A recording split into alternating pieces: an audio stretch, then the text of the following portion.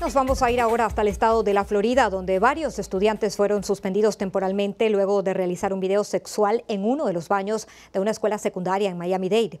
El material audiovisual tiene asombrados a los padres de familia de la secundaria que pidieron un fuerte castigo para los jóvenes involucrados. Moisés González nos tiene los detalles.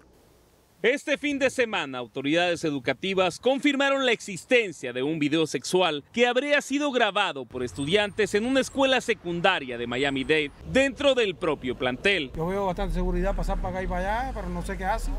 Y ellos que son jóvenes más todavía, que están a la edad de hacerse adultos y esas cosas, ¿ves? Que velen más por la escuela y que pongan más seguridad ahí.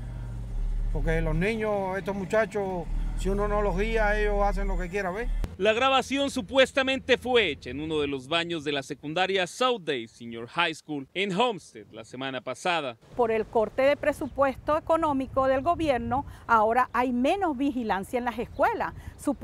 Antes, hace años atrás, habían personas eh, de seguridad en las, en las puertas de los baños. Un representante de las escuelas públicas de Miami dijo en un comunicado que los tres estudiantes que participaron fueron amonestados y suspendidos temporalmente. Esas son cosas personales que no se deben estar tirando videos y cosas así porque son cosas íntimas y, y viral eso cualquier persona lo puede mirar. El video ya fue retirado de internet, pero como nos muestra este estudiante que pidió su anonimato, el archivo sigue circulando en mensajes de texto entre alumnos de la escuela. Creo que como madre tenemos que enseñarle a nuestras hijas o hijos a, a respetarse ellos mismos y no enseñar sus you know, cosas íntimas, especialmente en, en, en, social media o en texting, que cualquiera puede coger eso. Hasta ahora el incidente sigue bajo investigación y se desconoce hasta cuándo estos estudiantes puedan regresar a clases.